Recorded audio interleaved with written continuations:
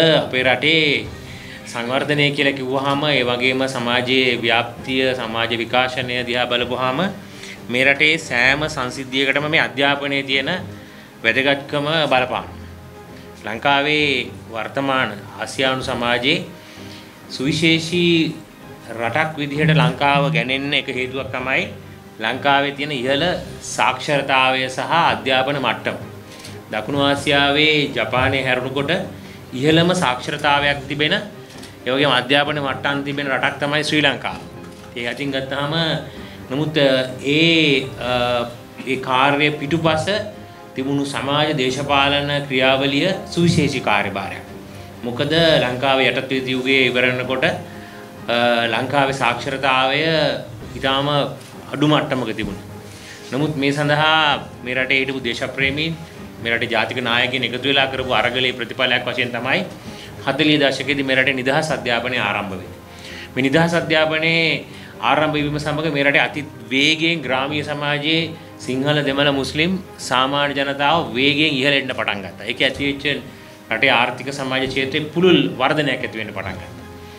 මෙහි තවත් තිබුණු ඓතිහාසික සීමාවන් ජය ගන්නට 50 දශකයේදී මේ රටේ ග්‍රා ස්වදේශික විශ්වවිද්‍යාල ආරම්භ වුණ බණ්ඩාරනායක මහතා යටතේ 60 දශකයේදී සිරිමව බණ්ඩාරනායක මැතිණිය යටතේ මේ රටේ අධ්‍යාපනය තවත් පුළුල් කළා ග්‍රාමීය මහා විද්‍යාල පද්ධතිය රටේ ආරම්භ කරනු ලැබුවා.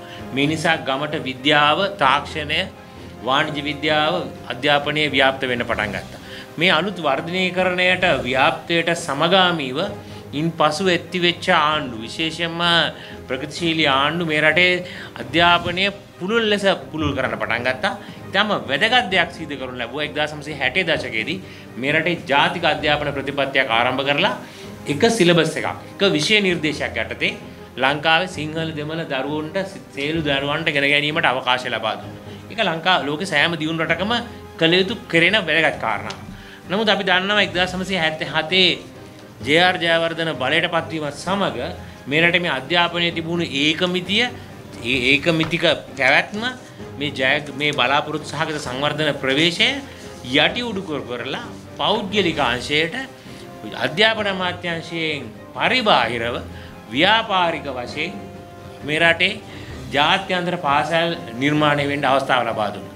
ලංකාවේ පළවෙනි වතාවට ලංකා ඉතිහාසයේ මේ ශ්‍රී ලාංකික සිලබස් එක විෂය නිර්දේශයෙන් පරිබාහිරව ඇමරිකානු සිලබස් එක බ්‍රිතාන්‍ය සිලබස් එක උගන්වන්නට පටන් ගත්තා. මේ ගමන් මග සමග ලංකාවේ අධ්‍යාපනය ගැන අයාලේ යන්න පටන් ගත්තා. මේ අයාලේ යෑමේ බරපතල සමාජ ඛේදවාචකයේ ස්වභාවය තමයි අද අපි අත්විඳින්නේ.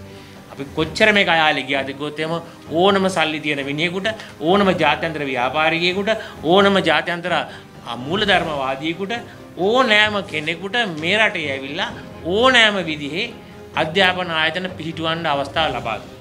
දැන් අද අපි දකින ශරියා විශ්වවිද්‍යාලේ කිසිම නියාමනයක් නැහැ. රටේ කිසිම උසස් අධ්‍යාපන ආයතනයක් අධ්‍යාපන අමාත්‍යාංශය දාන්නේ නැහැ. අධ්‍යාපන අමාත්‍යාංශය දාන්නේ නැහැ. ගොඩනැගිලි හැදෙනවා. ගොඩනැගිලි හදන්න මුල් මුල ප්‍රාග්ධනය කොහොමද ආවේ කියලා අපි දන්නේ නැහැ. රටක ජාත්‍යන්තර විශ්වවිද්‍යාල අතර ජාත්‍යන්තර ජාතික වශයෙන් ජාත්‍යන්තර වශයෙන් අන්තර් සම්බන්ධතා ඇතිව ද්විපාර්ශ්වික ගිවිසුම් මත අන්‍යෝන්‍ය සුහදතාවය මත රටවල් වල විශ්වවිද්‍යාල ව්‍යාප්ත වෙනවා පර්යේෂණ දියුණු කරනවා අධ්‍යාපන ක්ෂේත්‍රයන් වර්ධනය කරනවා. නමුත් මේ අපි මේ 1977න් පස්සේ අයාලේ ගිය අධ්‍යාපනයේ අවසානයේදී අද වෙනකොට මූලධර්මවාදී අන්තවාදී අතිශයින්ම මූලධර්මවාදී ආගමික අධ්‍යාපන ආයතන දක්වාම ගමන් කරලා තියෙනවා.